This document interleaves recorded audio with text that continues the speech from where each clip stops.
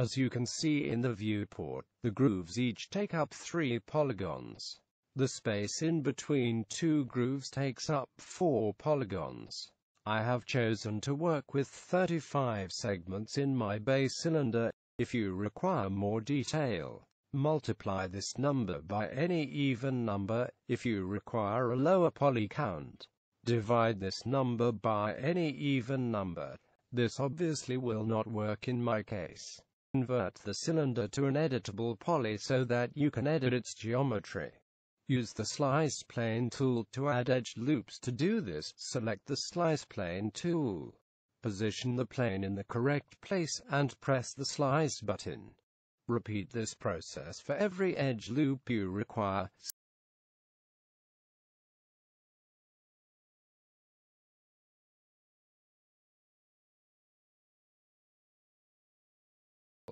Select the Cut tool by pressing the Cut button. Cut the silhouette of one of the grooves on the geometry. Try to make it symmetrical.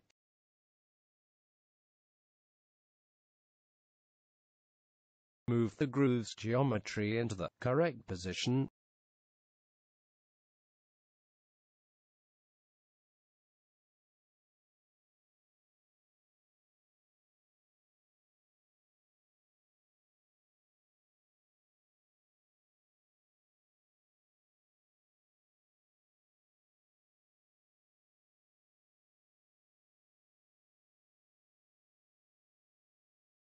Delete unnecessary geometry, in my case. Only one groove and two rows of polygons on each side are needed.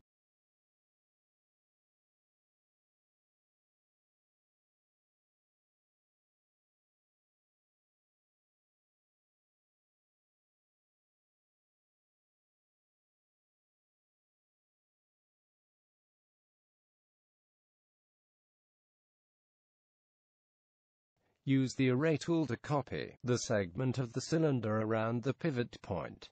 Press the Preview button to preview the resulting arrays. Use the rotation option with the right axis to get the required result.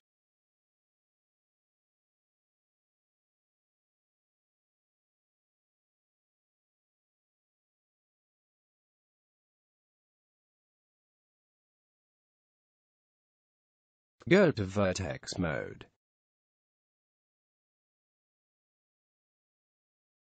Select all vertices.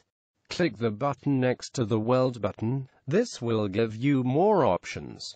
Set the threshold so that only the vertices between the segments of the cylinder are being welded.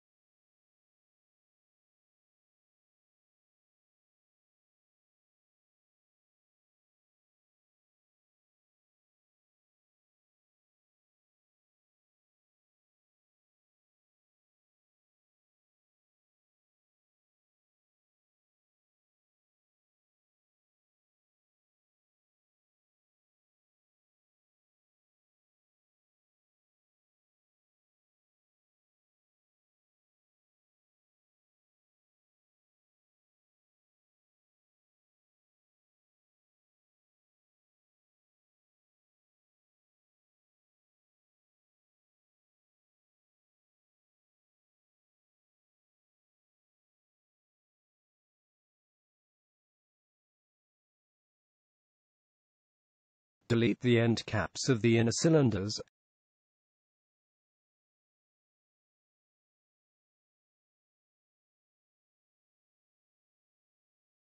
Invert the normals of the inner cylinders.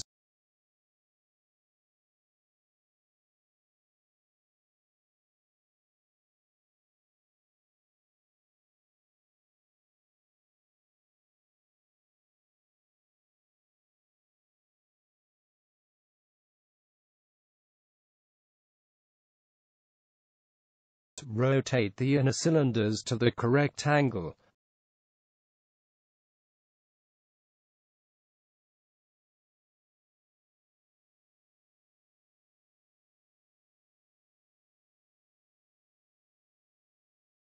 Cap the hole. Select the edges you want to bridge. Click the bridge button to create a polygon in between the selected edges.